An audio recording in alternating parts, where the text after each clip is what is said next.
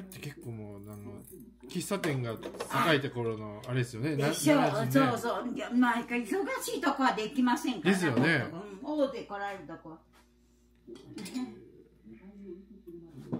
ずっとこれは長い感じああもうずっと最初からです今ねあのネイルで立てるけどね。ああ間に合わえん自分だけちょびっと引くだけほいで毎日引くから。ほいで。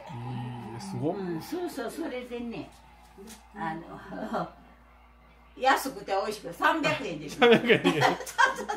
おこんな願いします。とこないでって言うけど、まあいいんです、私一人で、自分とこの家で 自分一人でするんじゃから。それ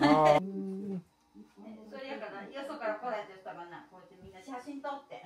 ですよね。なんかこれこの絵とかもすごいですね。光るっていうかまあ、裏へ蛍光灯ああ蛍光灯が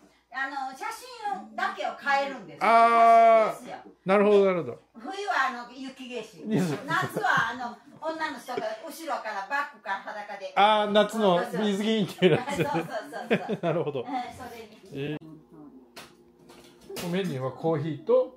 もう昔はね、はい。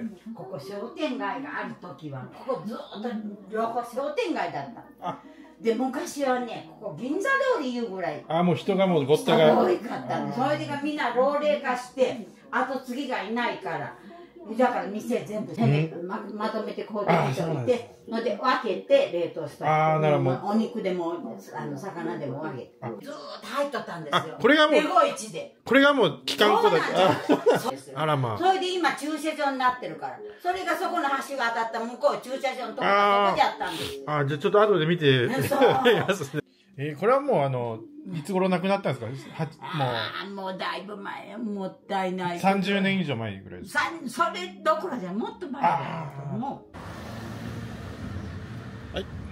というわけでコーヒー300円めっちゃなんか良かった。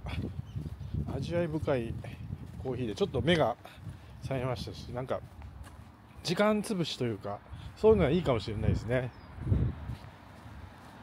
でおばちゃんが言ってたのこの目の前にあの車庫があったみたいですね SL の。今もうあれですけど。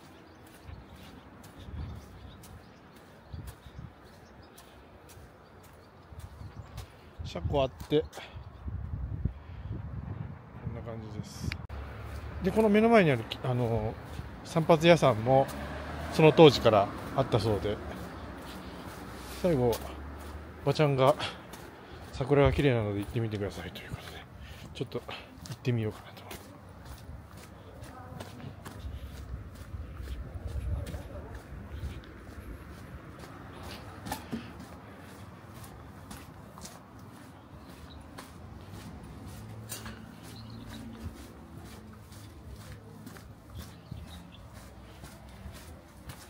ちょっと元気が出ましたね。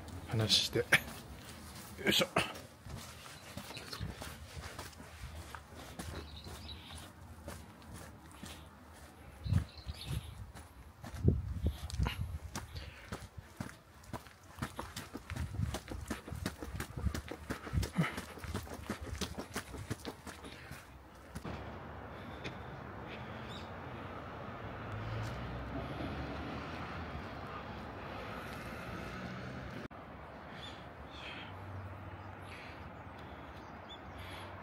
ちょうどこの辺りに転車台があったそうです。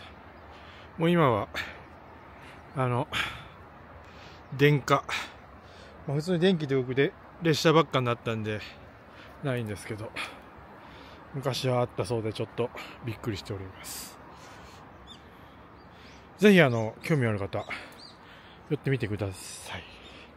一応新見駅から多分15分ぐらいの距離の商店街15分かな？15分10分ぐらいの距離です。徒歩で。ぜひ。